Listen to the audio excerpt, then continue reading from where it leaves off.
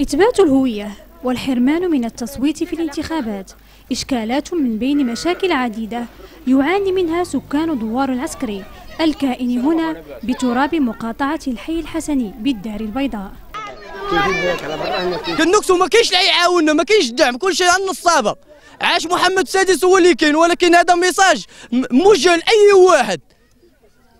message موجه لأي واحد وحاجة واحدة اللي كنبغيو بغينا نشوفوا هاد الشباب باش ما يبقى ما بقيناش بغينا نضيعوا وما بقيناش بغينا الشباب اللي صغار منا تا هو يضيع. الدوار العسكري متواجد بحي الحسني آه ما, ما عندوش الحق. في البطاقة الوطنية استفاده البطاقة الوطنية. ما عندهمش الحق أنهم يتسجلوا في اللوائح الانتخابيه مع أن وزارة الداخلية كتقوم بوصلات إشهارية يومية وبالشكل مسترسل باش الناس تستافد ملي كتقول لك لا أنتم ممنوعين. ما عرفناش بأن فين هذا عاش الحق الدستوري ديالنا. بالنسبة للضوء كتجي لي كتطلب منهم 40000 درهم. 40000 درهم تعلق لهم جوج المواقن. وأعطونا 40000 درهم وأنتم استخلصوا الأموال وجيبوا لنا سكان الدوار يطالبون بتوفير أبسط حقوقهم المتمثلة في إثبات هويتهم وممارسة حقوقهم الشرعية والقانونية وحصولهم على سكن لائق.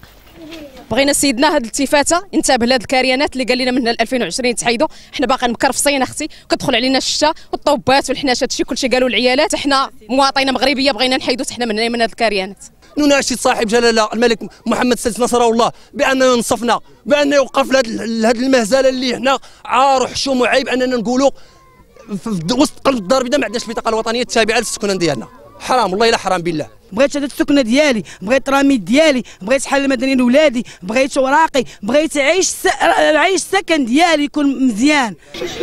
ويبقى دوار العسكري من بين العديد من دور الصفيح بالدار البيضاء التي تعيش معاناة ومشاكل كبيرة تستدعي تدخل السلطات المعنية للحد من هذه المعاناة.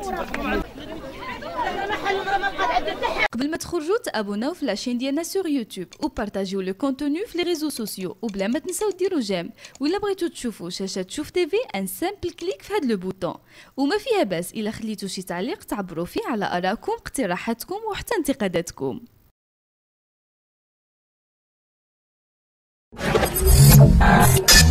Wow.